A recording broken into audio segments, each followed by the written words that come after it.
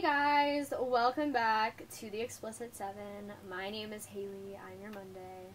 And this week, our theme is embarrassing stories.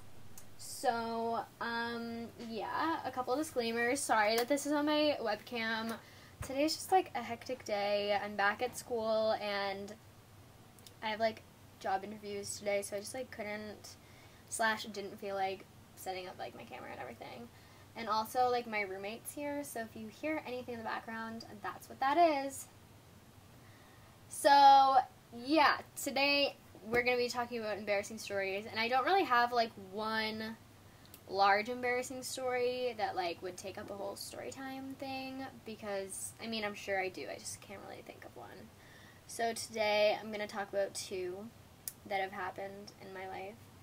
And this video is probably going to be short know. I just I don't know you guys. So yeah. Um so I'm going to start with the first story. Excuse me.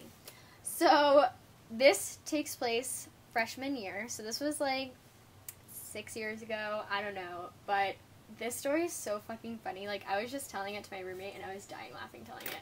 But so um basically we had this big like research paper type of thing in history class. It was my freshman history class, and I don't exactly remember like what it was on, but I remember it was about like Stalin and maybe like Marx or something. But st- it definitely had to do with Stalin, and so I like turned in my paper and everything. It was great. I I was expecting to get a good grade on it, and the day that the teacher was like handing them back, she said to our class, she was like, um, I don't think this is you guys' is like best work on a paper. It's okay, I don't care. uh, the robe. It was like an entity walking by. I loved That's it. good. That's what I want. That's what I want to be. okay, so um, it was a day she was like handing back the paper, and she said something about how like, you know, she was like a little disappointed in us. You're gonna eat that with a fork? Oh yeah. Okay. I was thinking. Okay, I'm sorry. Your video. I'm sorry. Okay, so she said to us, she's like, I don't know, you guys. I don't think this is your best work. There were some crazy things that happened, and she was like, somebody used a picture of Martin Luther King as Stalin in their in their paper, and me and my best friend were like. That is literally so embarrassing. Like, how could anyone mix them up? And we were like laughing about it. And we're like, mm-hmm, whatever. And then the teacher fucking hands us back the papers. And I look on the front page of my paper, and it was me that put Martin Luther King as Joseph Stalin. and it was really embarrassing. I mean, the good thing is, is that like not a lot of people knew that that was me. Only really my teacher and my best friend. But like, I honestly don't know what was going on. Like, I must have been delusional while writing that paper or something. Because like, obviously, I know who Martin Luther King is, but something crazy happened along the way. But it was actually really funny. And I know it's not like that embarrassing, but it's pretty embarrassing, like for your teacher. Like everyone knows who Martin Luther King is. Like you don't mix him and Stalin up. That's like pretty bad. So yeah, that was the first one. And then the second story. This was like eighth grade, I want to say. And so I don't know if you guys know about the website Wattpad, but Wattpad is a, is like I don't know. It's like an online like you write like books and it's mostly like fan fiction nowadays, but back in the day, Wattpad came out, and my group of girlfriends and I all thought we were published authors on that website. Like, we, every single one of us had like books that we were writing, and my book, I can't remember what it was called. I think it was called Love in High School. I'm pretty sure it was called Love in High School. But so there was this boy, and he was in the grade below me, and I was like in love with him. I was obsessed with him. He was so cute, and I wanted to date him so bad, but he was dating like the popular girl of the seventh grade. and so, um, my Wattpad book, Love in High School, was completely 100% about me and him. Like a thousand percent. It was me and him.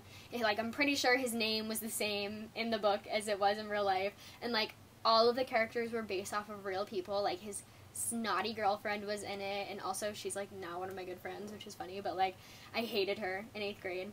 And so it's, like, all of his friends, all of, like, my friends were characters. And they had, like, it was, like, their real names.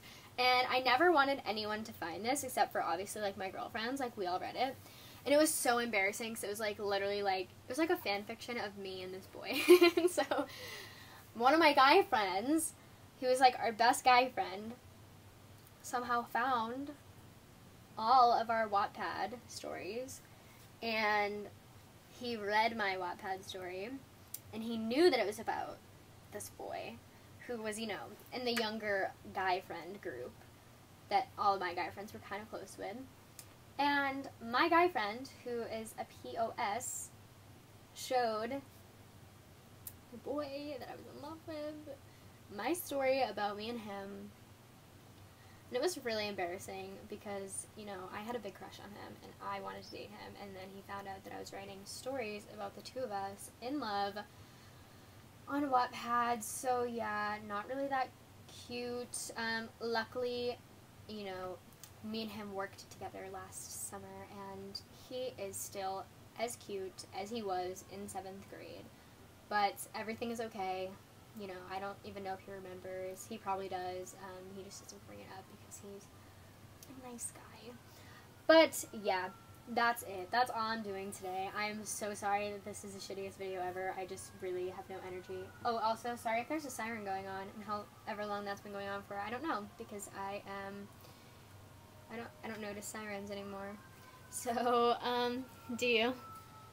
I don't notice them. This like, wasn't that long. It just started a second oh, it did. Okay, because like I literally realized like I don't hear them for a while. So yeah, thank you so much for watching. Check out my main channel and everything. I'll leave that all below. And yeah, I'll see you guys next week. Peace out.